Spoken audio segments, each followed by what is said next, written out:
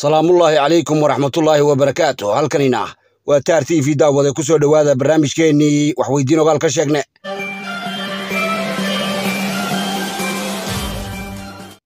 Qodobada war wacalan idinka hayna carre edeg waxaa ugu dooroon beelaha somalilan oo ku geeraaraya dalka waa la kala leeyihiyo doogga soo baxay waxse laga damqaday qoolashuu degay makaahile ina garaasaleebaan oo nabad ku baaqay xilli habar jecla tidhi soo dhacna isgaansiiya afhayeen u hadlay geylamayaasha bariga dhexe oo sheegay inuu dhammaaday dhusinkii laga dagaalamayey hargeysa toddobiyo afartan dherikariye oo laga helay fantamadow siciid cabdilaahi deni oo lagu eedeeyey inuu baradiisii ku noqday guryafan gabraaratada fana oo dib looga didiyey laalibeela toddoba boqol oo qof oo gamaadooda loo joogay dalka suudaan. Imaanlaawe makraan oo hadal wiirsi iyo toolodhooblayn hasla soo taagay iyo weliba erdogan oo shirka islaamka kaga dhawaaqay in la baanjiyo dhiro dhabatada dooxatada wararkaasi iyo warar kaloo dheeraad ayaan idin haynaa ee ku soo dhowaada barnaamijkeenna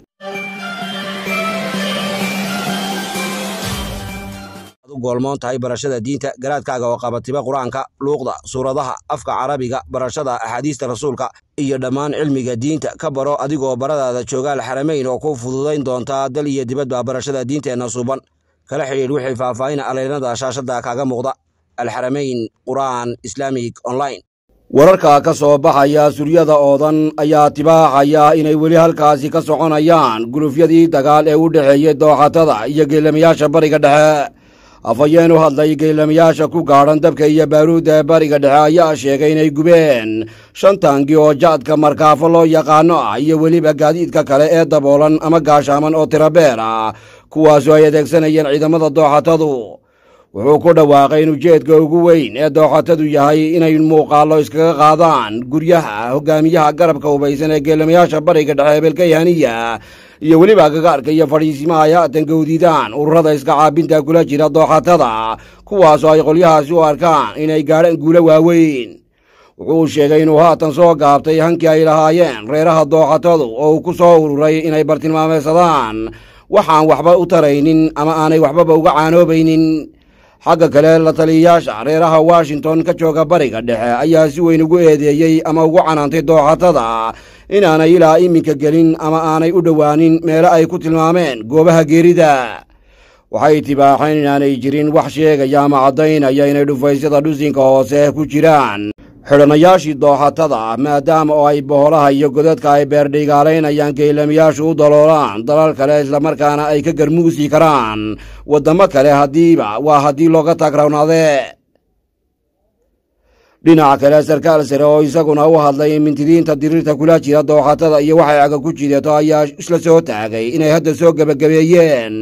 amaba ay soo afmeereen ka dagaalankii dhulka hoostiisa islamarkaana la gaadhay xilligii si toos ah foolka la ysu siin lahaa. Wuxuu damuuniyey sarkaalkaasi inaanay geelamayaashu hore u soo bandhigin taagtooda tukurtooda iyo awooddoodaba isla jeerkaasna hadda la gaadhay goortii ay carre edeg u soo bandhigi lahaayeen. Cududooda ciidan ee iskudhoonka iyo weliba hubka saanadda iyo qorshayaasha dhagaraysan ama mariidaysan ay leeyihiin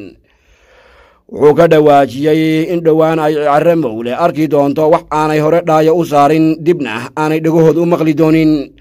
Barbarka kale sida ay faalaynayeen xeeldheerayaasha dagaalka ee carre edeg ayaa isla soo taageen ciidamadii ugu tirada badnaa oo wata saanadaha kale ologa ay haatan soo galeen. Dhusinka hoose ee jiqinjiqista oodanta ah kuwaasoo u toogahaya inay dhowaan dagaal ugu garh qabtaan dhammaanba wixii dooxata ura ee aagahaasi ka dhow isaguna ku-xigeenka duqa magaalada hargeysa oo u diminjaaqay dhalooyinka layska arko ayaa werwer walaac walbahaar iyo walaahow ka muujiyey badqabka nololeed ee dadka ka ceelhaya magaalada hargeysa iyo inta haysa. Wuxuu sheegay in magaalada ay soo gashay xanuun baabi'iye ama dawooyin milaygoodu dhacay iyo raashin madadiisii dhaafay. Wuxuu ka sanqadhiyey inay laamaha nabadgelyada u gudbiyeen fiimidool iyo kiniincaal aabbihii wasay maadaama oo ay dalka ku soo bateen xanuunnada halista badan sida hudhaha ama waxa afka qalaad lagu dhaho kansarka jeex qalalka ama faaliga dhiikarka sankarowga subagowga iyo intii daran. Khadar nuur axmed oo hadalkiisa sii dalqabinaya ayaa sheegay in gaadiidkii shalay bariidka dhacay soo gelinaya ceelka hargeysa guud ahaanba la jeebeeyey wadayaashii gaadiidkaasi. Halkaa la daba jabinayo ama raadkooda lagu joogo qolyihii uskaga haystay ama ganacsato la yidhi ee uu farataagtaaggani u rarnaa docda kale duqu wuxuu gaballa ka caddeeyey in dhibaato aan yarayn ay dalka ku hayaan gaar ahaana magaalada hargeysa. Ragga cunooyinka u kariya doololamayaasha ama waxa loo yaqaano hudheelada kuwaasoo uu biniixiyey in siddeetan ka mid a lagu sameeyey baadhitaano dhanka fayodhowrka tiyo toddobiyo afartan ka mid a duulkaasi laga helay fantamadow iyo xanuunada faafa gaar ahaana jooniska qaaxada xabad ama waraabow ifilada labaatan midhla hargabashimbireedka iboolaha iyo dhammaanba towsta laysu dabaka dhiibo ama sida yar laysugu gudbiyo dhanka kale lama oga goor ay dadka ugu dambaysay hamba iyo hadhaadi cunto oo ay hudheeladu soo qubaan ama lagu yuubo dadka jilicsan waxmahaysatada iyo darbijiifta wararka qaar ayaa sheegaya in hambada laga kacay dib loogu daro dheriga dabka saaran isla jeerkaasna dib loo gado. Qaar ka mid a dooranabalayaasha ayaa digsiga cuntooyinka ay ku kariyaan ku walaaqa dogob ama qori ay meelaha ka soo jabsadeen halka qaarkoodna u daxalaystay weelka isugu dhafan. Dhuraha fandhaalka ka laha xeedhada dabaqa qudaha qoragyada dhiilaha jalxadaha iyo dhammaanba saabaanka dadka wax loogu rido iyaga oo weliba fayodhowrkooduna aada u liito. In la wadi jirayba dadweynaha ceelka hargeysa iyo guud ahaanba bulshada reer somalilan ayaa wadnaha fartaa kaga haya bedqabka kowlka silsilka iyo dilhaanba gasiinka dalka yimaada sida bariidka burka sonkorta caleenta qaxwa ukunta ama digaagga la soo waarido kalluunka fidhiqooyinka lagu soo tigtigo baastada dalka la keeno iyo dhammaanba cuntooyinka qalaad ee dalka somalilan lagu soo fanacsiiyey taasoo ay dheer yihiin. Daawooyin iyo kiniinno aan loogeyn sumad dab iyo wax ay leeyihiin sumad caanood kuwaasoo soo duduucay amahaanta gadowgeeda soo saaray in dadka loo dhigo tarab tarab oo madaxa loo kala jeediyo oo laysula geliyo oo rarrab lagu qaado oo lagu xidho maroorada neefta jiida waayo waayadeed. Waxaa loogu dawgalay nin dhakhtar sheegtay iyo ganacsade ka iibiyey quran iyo qashaabiir ay ka dibireen isla jeerkaasna ay kaga jabeen kubka bowdada iyo labada biixiyood weli halka aad nagala socotaan waa taar t v waxaa dhammaanba somalilan ka socda. Abaabulka jitatabaha tabaabulshaha iyo diyaargarowga ay ku jiraan dhammaanba beelaha somalilan kuwaasoo jiidaha hore ee gobolka sool lagu geynayo ciidamo ku gaashaaman warmo gantaalo gaashaamo tiiriyo hootooyin murjisyo iyo mudacyo leebab qaansooyin iyo wixii raaca sidoo kale waxaa dhammaanba beelaha somalilan haatan u socda shirdacoodyo kala duwan kuwaasoo ay kaga boganayaan amba bixinta socodsiinta sagootinta saasiinta jidaasha guuraha gararacada maalinsawaalka dheemaalka boqolaha jarmaadada iyo suudimaridda. Ciidamada jeefadka ah ee ay haatan beelaha somalilan dhankaasi u dawinayaan. Dadaannu la xidhiidhnay oo beelahaasi ka mid ah ayaa noo sheegay inay hadda garwaaqsadeen wixii hore uga jiray gobolka sool islamarkaana uu iminka u caddaaday waxay sheegeen dadkaasi inay indhaha kala socdeen. Qayladii muusanowgii tollo-aydii kicintii baraarujintii ka kacaydii iyo carooggii muddada sagaalka kalgeela ay ku baaqayeen garaadada salaadiinta duubaabka wabarrada isimada boqorrada ugaasyada iyo dhammaanba madaxda dhaqanka beelaha daarood. Kuwaasoo lagu midaynayay bulshada beelaha daarood. Waxay sheegeen in markii ay arrintaasi u dhowowday duulkaasi ay haatan wadaan. Dagaal daandaansi dabraweerar dooyo gardarro iyo gaf aanay geedna isugu soo loohin kuwaasoo ay beelaha daarood iminka u soo dhureen. Sida tan iyo beelaha idoor waxay sheegeen inaanay u dulqaadan doonin ama aanay yeeli doonin fiicnaanta roonaanta iyo weliba iska bidka ay isu geysteen. Beelaha daarood.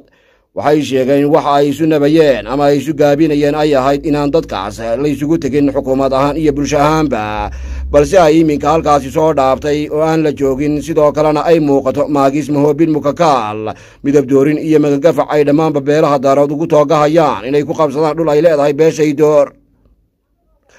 Waxay ku nuuxnuucsadeen inaanay weligood iyo waaqooda beelaha daarood dharaar keli ahna ku cali cigaalin dhul la weliyo beelaha idoor sidoo kalena aanay haddana taasi dhici doonin. Waxay sheegeen inay beesha daarood iyaga oo dowlad ah waxba ay ka qaadi kari weyday beelaha idoor waxay damuuniyeen inay hadda oo ay beesha isaaq tahay dowlad bandiirad leh taako dhulkeeda ka mid ah aan dib looga riixi karin. Waxay tilmaameen inay beesha daarood haatan ku jirto riyo dharaareed oo ay ku doonayso meelo hor leh oo ay ka taliyaan. Waxay sheegeen in daarood dhammaanba go'aannadaasi uu ku wada socdo. Waxay tibaaxeen in beesha isaaq ay markii hore huruday ama aanay arrimahaasi shodha'aysan balse ay iminka gedafka la sare kacday waxay sheegeen inuu dhici doono dagaal laysku riiqmo oo laysku regmado oo laysku maduurmo oo laysku dhammaado sidoo kalena ay beelaha isaaq iyo daarood ku kala sad qaadaan kaasoo mahadhooyinka uu reebo sooyaalka geeska qaaradda guudan ee afrika lagu sinti doono. Waxay sheegeen ugu dambayntii inaanay u dulqaadan doonin aabiga gefka isla weynida hadal xumaanta toodhada tiyaaqa laabgaraaca toorodhooblaynta iyo wixii raaca ee ay wadaan beelaha daarood. Isla jeerkaasna ay arrintaasi xigi doonto iqariyaay iyaguna dhammaanba dadka kale ah cabdiqaadir koodbuur saalax aadan ciise cali cabdi aadan cali cige yaasiin siciid aadan maxamed yaasiin cali sakariye maxamed basre aadan ciise sahre jaamac cabdi iyo weliba kayse cali shire oo ku kala nool dalalka daafaheeda iyo weliba somalilan waxay hambalyo iyo bogaadi farxadeed u dawinayaan. Caruuska iyo caruusadda cabdirisaaq siciid aadan iyo marwadiisa nimco maxamed salebaan yuusuf oo meherkoodu ka qabsoomay magaalada ceerigaaba ee xarunta gobolka sanaag ogeysiis ogeysiis ogeysiis. Waxaa la ogeysiinayaa bulsho weynta soomaaliyeed ciddii u baahan in waalidkood oo dhintay ama sariiryaal ah oo aan iman karaynin xaramka in looga soo gudaayo acmaasha fadliga badan ee cumrada. Waxaa ka soo gudaya culimo ku sugan magaalada barakaysan ee makaal mukarama inta lagu guda jiro ka gudista acmaasha cumrada ee waalidka waxaa lagu soo dirayaa muuqaalo ku saabsan intii lagu guda jiray cumrada. Haddaba kala xidhiidh lambarka watsapka ee shaashada kaaga muuqda weli halkaad nagala socotaan waa taar t v garaad cabdilaahi garaad salebaan garaad maxamed garaad maxamuud. Kaasoo ka soo jeeda beelaha dhulbaante gaar ahaana duulka ugaaryahan la yidhi ayaa ku gataatacay inay beelaha dhulbaante doonayaan. Nabad ay kula noolaadaan. Waxa ugu yeedhay dadka ooda u kala rogan tahay iyo weliba dawaankooda ninkan oo soo orabsaday meelaha wararka laga dawdabiyo ayaa ku tiraabay adolo tabaatig iyo taqaawatiqan u badnaa kuwaasoo isugu jiray degis xeeladayn dabamarin waxqaboojin iyo wixii raaca oo uu ku qoolaabayo sidii ay beelaha dhulbaantay ugu soo rogaal celin lahaayeen. Gaadmadii ay dhowaan ka sameeyeen deegaanka buqdharkayn geesta kalena dhalaare ka hor ayay ahayd markii uu garaad cabdilaahi garaad salebaan ku hambaliyeynayay beeshiisa wixii ay ka sameeyeen deegaanka buqdharkayn kaasoo ay qaybo ka mid ah kooxaha huwantaahi dabqaba siiyeen iyada oo nabad loo balawaadho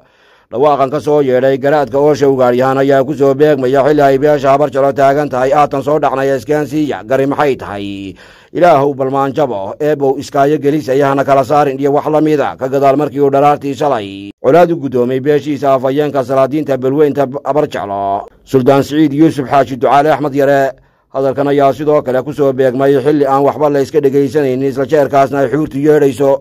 cabdirisaaq khaliif axmed dowdar ayaa isaguna hadalkaas mid la mid ah ku hadaaqay kaasoo beelaha isaaq gaar ahaana habar jeclo nabadgelyo ka duraantay waxa uu ku baaqay inay habar jeclo hub ka dhigto islamarkaana ay qaadato nabadgelyada. Ay haatan beelaha dhulbaantay yaahinayaan amaba ay yaboohinayaan